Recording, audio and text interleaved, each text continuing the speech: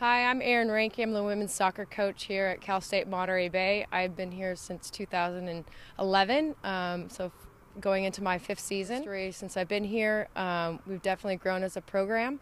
Um, the girls that we've been recruiting have definitely changed the program. Um, in 2012, we had the best record the program's ever had. Um, we were eight and nine. We actually had the most goals last year at, at 20, um, averaging uh, 5.5 uh, shots on goal uh, a game, which is a huge difference from the first year I got here. You know, from academics being um, uh, number one in our academics in the conference twice in a row um, to just accomplishing every year having an academic award from the NSCAA. And um, so I'm really proud of the team and just improving, you know, on and off the field. And every every year we seem to get better and better. I came here to Cal State Monterey Bay. Uh, chose it because um, the challenge of uh, rebuilding a program uh, was intriguing to me.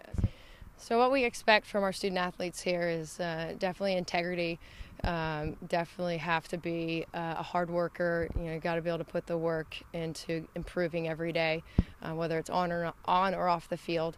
Um, but you know, a big part is your character and uh, doing the right things. It's important for um, not just on the soccer field, but in life.